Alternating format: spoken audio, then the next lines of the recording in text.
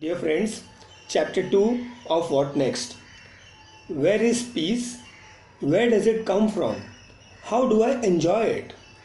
These questions have popped up during my moments of solitude. These moments have appeared at frequent, though intermittent intervals. Well, many times they would soon be overshadowed by one or the other kind of involvement. Seldom they would stay, continue with another set of questions. What am I running after? What is the destination? Where am I leading myself? What is the purpose? Again, some type of engagement would overrule the entire thought process. Also, most of the time, there would be a realization that I am outshining my thoughts. Still, I would tend to procrastinate, contemplating that there is a trivial, it's, a, it's trivial to think about such things.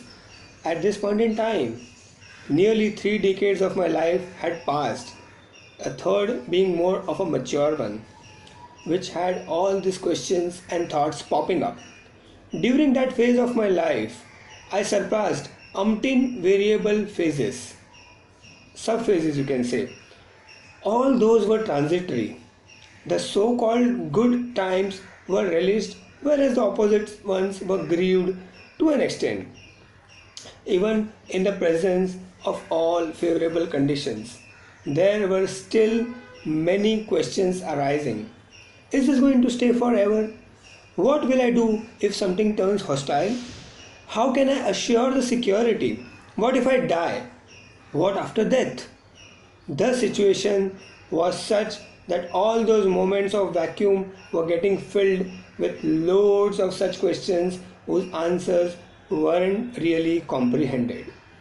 I wanted to uncover the answers. I sought to identify the purpose of life. I was looking forward for something which leaves me without any questions for the rest of my life. I was desperately hunting a life full of life. Thank you for listening chapter number 2. Thanks.